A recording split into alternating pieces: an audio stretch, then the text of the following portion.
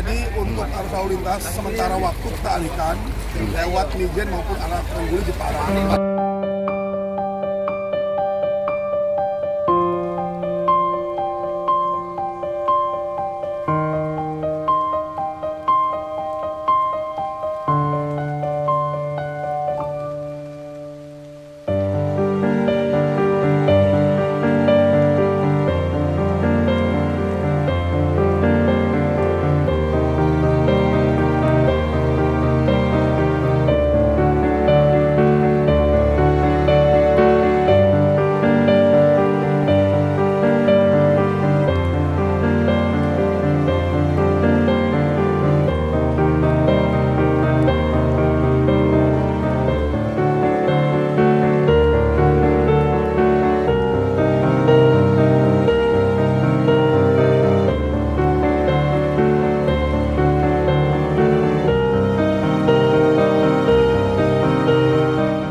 Situasi terkini gimana Pak untuk arus lalu lintas di wilayah Kabupaten Demak jalur Pantura Karanganyar? Nah, jadi untuk arus lalu lintas sementara waktu kita alihkan lewat Mijen maupun arah Tengguli Jepara. Karena seperti kita lihat bersama, ini semua masih tergenang banjir.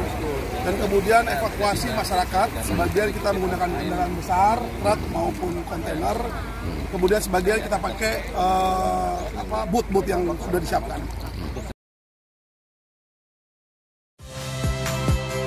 Saya Nitya Anissa.